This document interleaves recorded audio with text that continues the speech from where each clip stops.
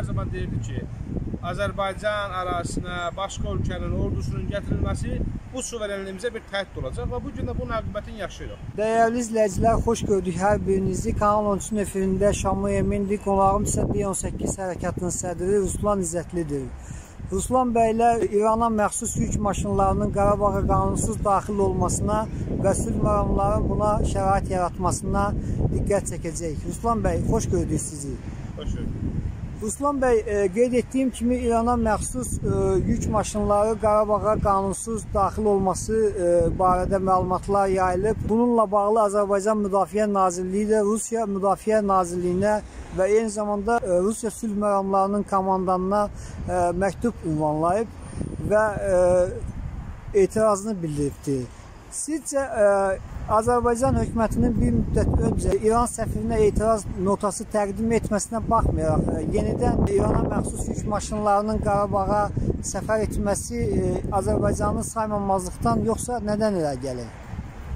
Biz ə, 44 günlük müharibədən sonra 10 yanvar noyabr bəyanatı və 11 yanvar 2021-ci illər Moskva bəyanatından sonra ora yerləşdirilən Rus missiyasını, sülhməramlı missiyasını e, əslində öz səlahiyyətlərini aşdığını və missiya çərçivəsini aşdığını artıq görürük.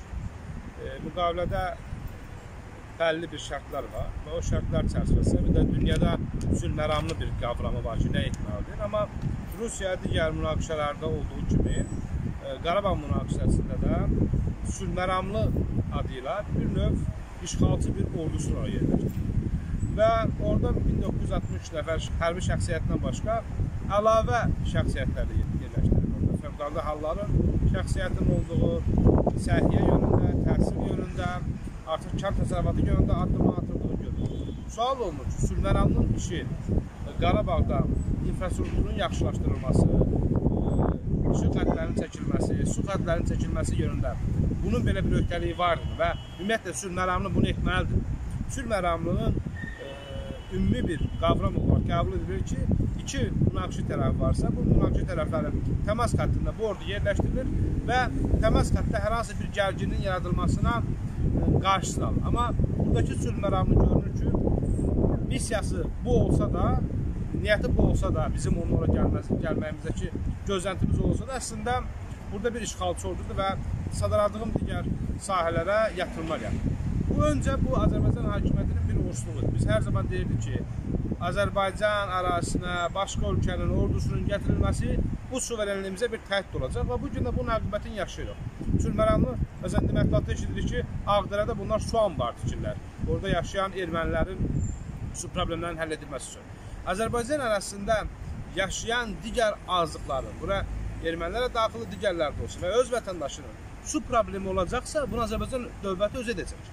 Orada Rusiya gəlib, sənin icazən olmadan, o bölgənin geoloji quruluşunu öyrənmədən, orada su anbarının tikilməsi Azərbaycanın maraqlarına bir təhdiddir və Rusiyanın əslində niyyətinin nə olduğunu bilinir.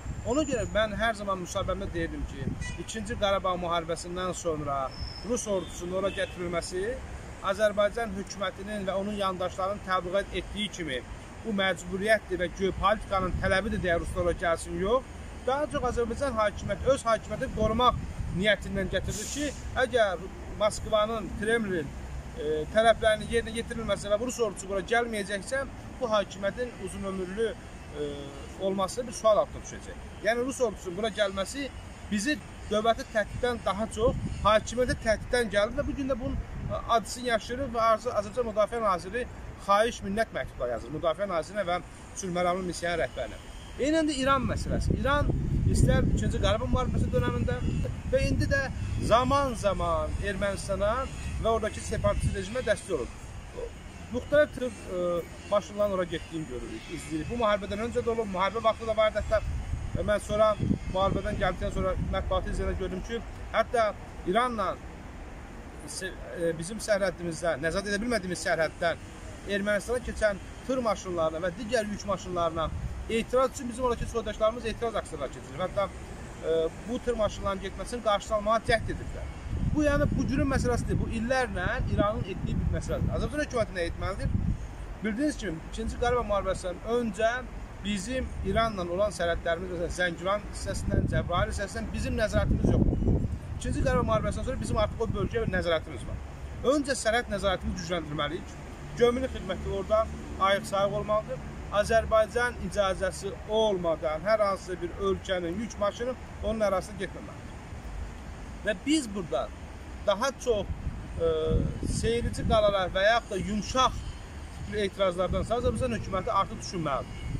Bölgədə Rusiyanın işğalçı siyasəti və münaqişənin daha da gərginləşdirmə siyasətini biz qarşısını necə ala biləcəyik? Nota verməkləmi, e, hər hansı bir xahiş məktubu yazmaqla mı qarşısını alacağıq, yoxsa biz xarici siyasətimizdə Avro-Atlantik mərkəzə inteqrasiya edib, müttəfiqlərimizin sayını artıraraq, çox şahalı xarici siyasət apararaq bu Rusiyanın budakı mövqeyini qarşılayacaq. Çünki çəkinəcəkli bir siyasət bizə bu aqibətdə yaşadacaq və görünür ki, bizim 2-ci Qarabağ müharibəsi zamanı hərbiçilərimizin, əsgərlərimizin qanı bahasına ə, ərazilərimizin bir hissəsinin bərpası, digər bir hissəsində Rus ordusunun gəlməsi artıq oradan bir qondarma Dağlıq Qarabağ Respublikasının gücləndirməsi gətirib çıxardır. Abxaziyada, Asiyada və digər keçmiş Sovet ölkələrinin ərazisində olan münaqişələrdə Rusiya hansı siyasət aparırsa, yenə də Qarabağda siyasət aparır və bu getçi bir təhlükədir.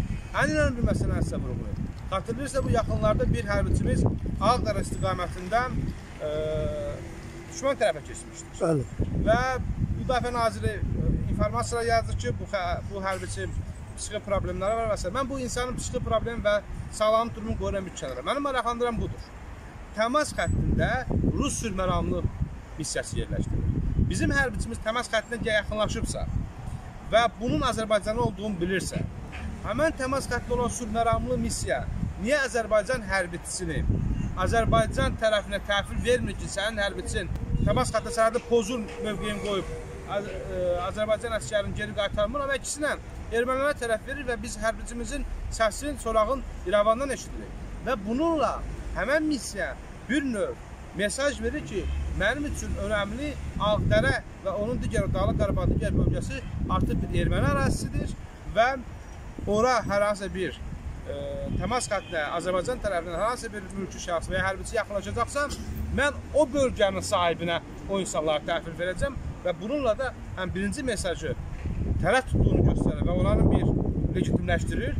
İkinci də Azərbaycan tərəfindən siz bir çox erməni girovlar var. Həm də bunun dəyişdirilməsi üçün bir fürsət də görür. Və ona görə e, 10 noyabr bəyanatından və Moskva bəyanatından sonra ora yerləşdirilən Rus sülhməramlı missiyanın xronoloji bir baxsaq, oradakı fəaliyyətinə Azərbaycan maraqlanan daha çox oradakı separatist rejim maraqlanır.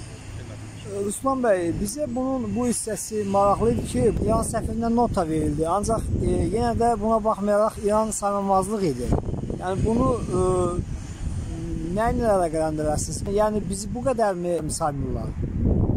Biz Azərbaycan illərlə apardıq balanslaşdırılma siyasəti və çalışırdı ki, qonşularla sıfır problem olsun. Amma nəticədə biz görürük ki, əslində bizim qonşularla sıfır problemimiz yoxdur.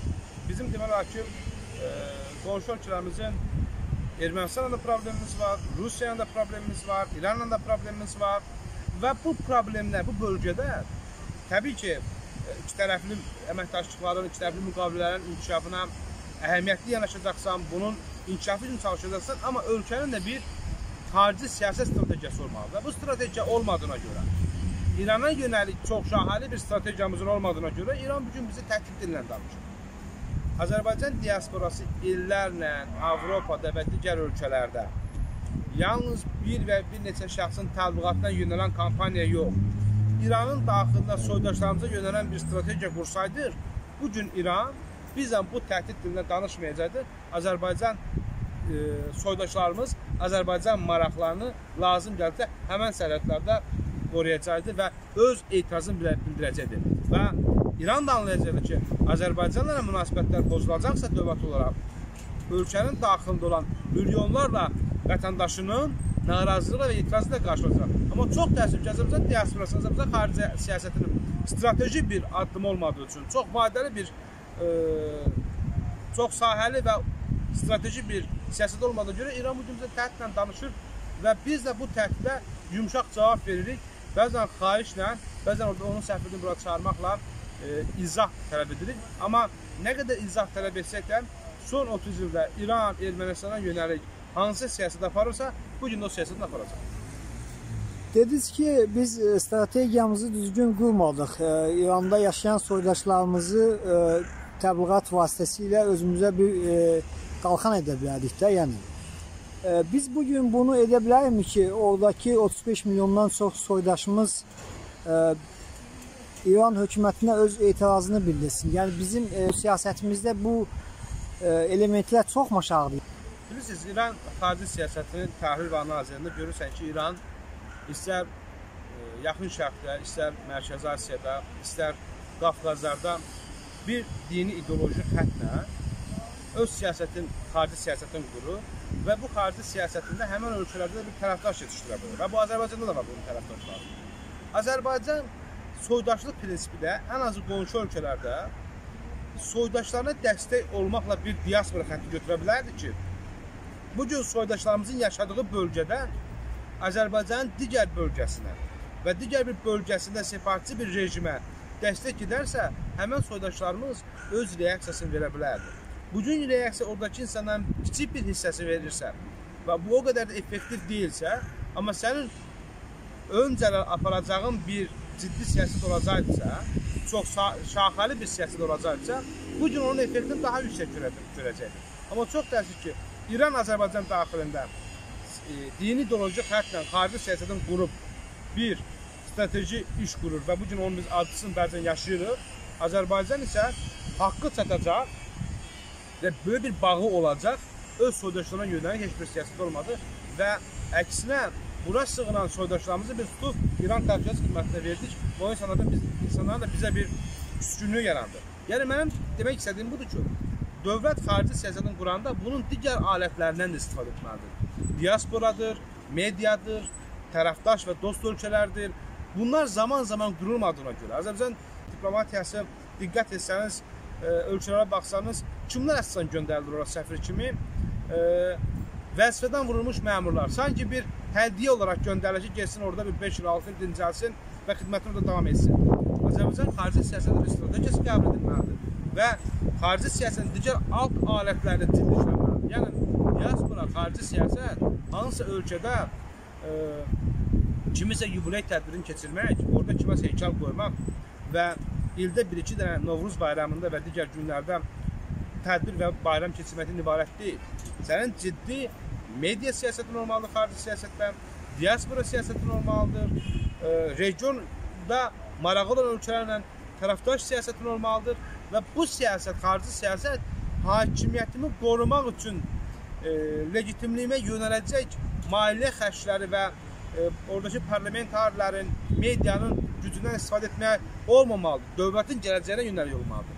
İndiyə qədər dövlətin gələcəyinə yönəlik siyasət olmadığını, əksinə öz hakimiyyətlərinin qoruduqlarına görə olduğuna görə bu gün biz problemlərlə üzləşirik və e, haqlı səsimizi çatdıra bilmirik. Bizim Bu gün bizim əsas strateji ölkəmiz kimi Türkiyədir və indi artıq Pakistan əlaqələri daha çox gücləndirilir. Bu artırılmalıdır və Azərbaycan xarici siyasətinə Avro-Atlantik məkanına inteqrasiya etməlidir. Və düşünməlidir ki, Rusiya nə qədər bölgədə var, ə, Azərbaycanın və hətta digər qonşu ölkələrin inkişafına və demokratlaşmasına maraqlı olmayacaq. Rusiya üçün bölgədə münaqişələrin olması və münaqişə olduqda Rusiya daha yaxşı ölkələrə tərəf edə bilər. Nəinki stabil olanda. Ruslan bəy, e, hesab etmək olarmı ki, Rusiya e, sülh məramlıları İrana məxsus e, qanunsuz yük maşınlarını rüşvət müqabilində Azərbaycan ərazisinə, Qarabağa daxil olmasına imkan verir. Yoxsa bu Rusiya-İran işbirliyinin nəticəsidir ki, Azərbaycanı zəif salmaq üçün Ermənistana dəstək olurlar. Bizim əlimizdə hansısa bir informasiya yoxdur ki, ki, orada gələn yük maşınlarının Rusiya sülhməramları hansı şərtlərlə buraxılır. Bu haqda bir informasiyamız yoxdur, amma genel baxdıqda görərik ki, bölgədə Rusiya və İran bir çox sahələrdə maraqları üstə düşür.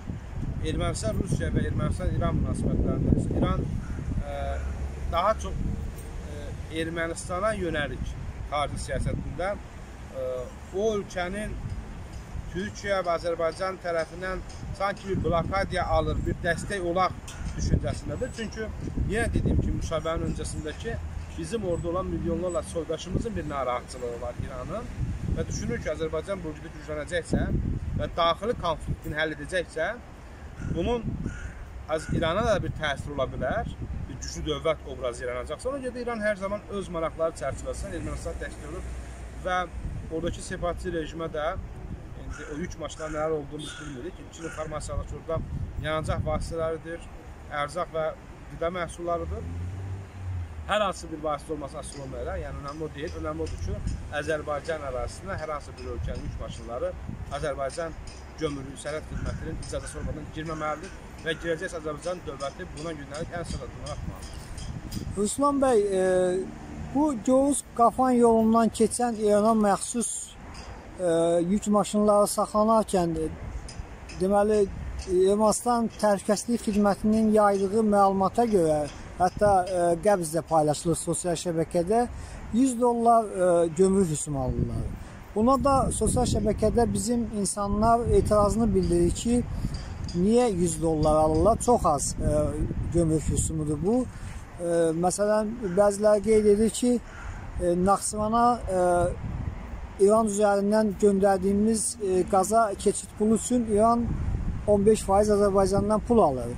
Bəs niyə biz e, bu qədər az e, gömrük rüsumundan razılaşırıq? Sizcə bu gömrük rüsumu azdırmı? Nə düşünürsünüz bu barədə? Mən o sənədlə özüm şəxsən tanış olmamışam. Nə qədər o feyk xəbərdir, nə qədər doğru xəbərdir. Ona görə fikir e, bildirmək istəmirəm. Sadəcə onu demək istəyirəm ki, Azərbaycan e, yeni azad olunmuş bizim ərazilərdə bilirsiniz bizim Cəbrayıllə, Zəngilanla bir İranla sərhəd sərhədimiz vardır. O sərhəddə gömrük xidməti gücləndirilməlidir. Astara bölgəsində hansı rüsumlar tətbiq edilirdisə və gömrük xidməti necə fəaliyyət göstərilirsə, eynən də Cəbrayılda və Zəngəzurda da gömrük xidməti o cür fəaliyyət göstərməlidir. Çox sağ olun Osman bəy, təşəkkür edirəm. Mən sizə təşəkkür edirəm, sağ olun.